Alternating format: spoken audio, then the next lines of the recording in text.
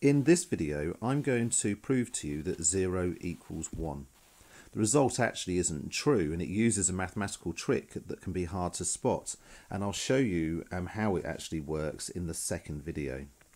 So we start off by saying A equals 1 and B equals 1.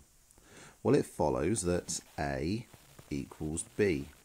I'm now going to multiply both sides by A.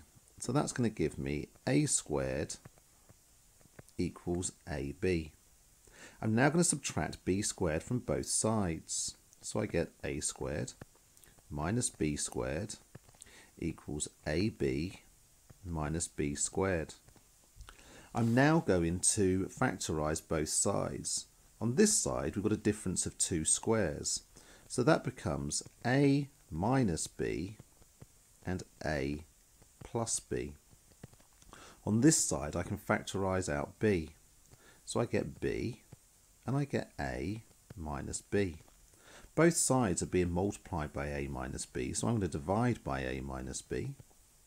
And I'm left with a plus b equals 0.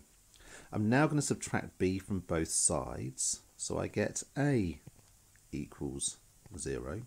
And wait a minute, a equals 1, so I can substitute that back in, and I get 1 equals 0.